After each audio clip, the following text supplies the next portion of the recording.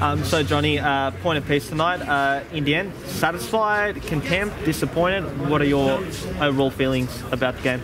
Oh, look, the, the effort was great. Satisfied with that. Uh, disappointed with the result. Uh, the game should have been done and dusted in the first half, and it wasn't. Uh, credit to Hume, they came back second half, they made a fight of it, and, and uh, you know we just we just had to work through that. We couldn't.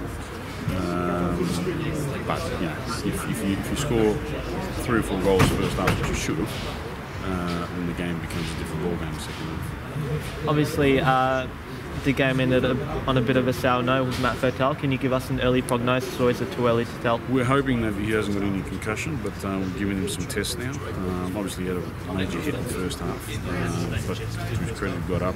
He expected to, but he did. And, uh, but then he hit the ball on top of his head, one of the headers outside in the second half, and um, yeah, he must have he must have fell down. The thing is, brought to attention was the was were his teammates that he wasn't well. So uh, we took him off the playing now.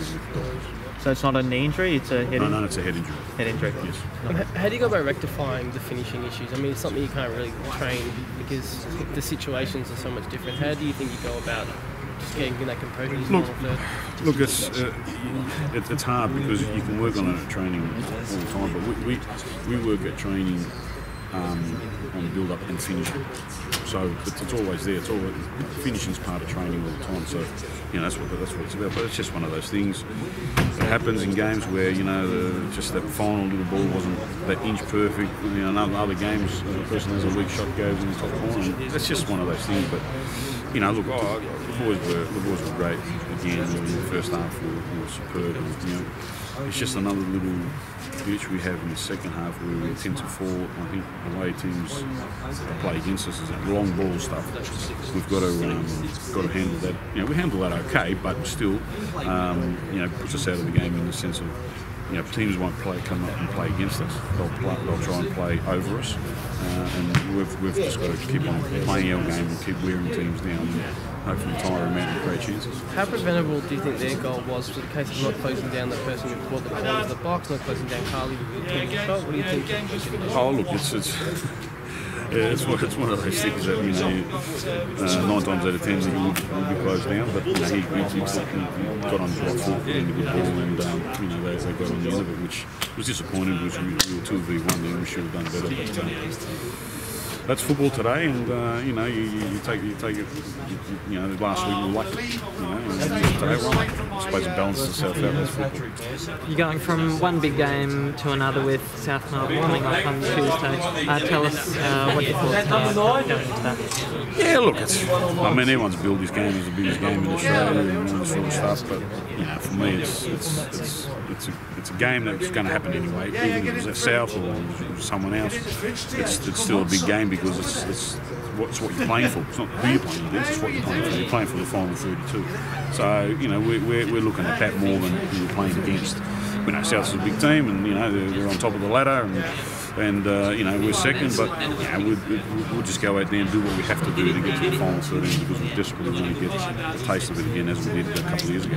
Um, I know tonight was a big game, obviously coming up against a strong team like Hume City, but given uh, what's on stake on Tuesday night, uh, was it a bit hard for the players not to have maybe one eye focused on Tuesday night, given uh, what a big game it is? Well, that's a good question. Um, maybe some players have their, their eye on that too, yeah. But we always, you know, everyone's keep talking about the game on Tuesday. During talk about during the week, they were talking about Tuesday and forgot about Friday. So we put that to bed quickly because we said, boys, there's, there's, a game of three points to be played.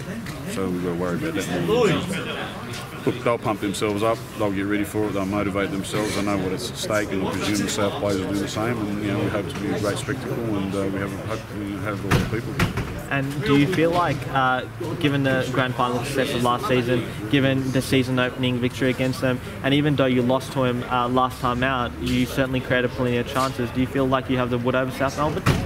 No, not at all. I mean, it's uh, South's um, one of those teams that uh, you know they, they, they had the wood over us at the start uh, early on.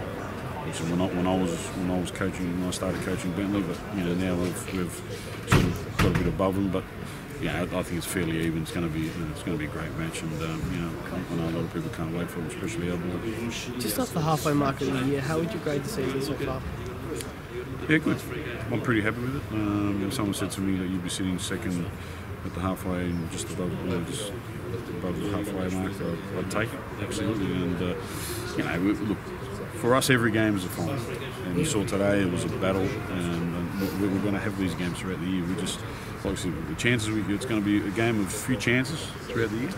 And we've got to be better in that and, and, uh, and finishing teams off. And, uh, and today that wasn't one of the days. I'm guessing on Tuesday the grass will be uh, to fit in. You know, make sure there's a hole where Chris Taylor will be sitting and maybe fall into it or something. but uh, look, that on camera? we uh, yeah, you can put that on camera. But Chris knows I'm joking. But, uh, nevertheless, um, know, it's it's it, you know we'll, we'll have everything ready ready to go for the game. So yeah, we can't wait. Thanks, Zach. Thanks, boys.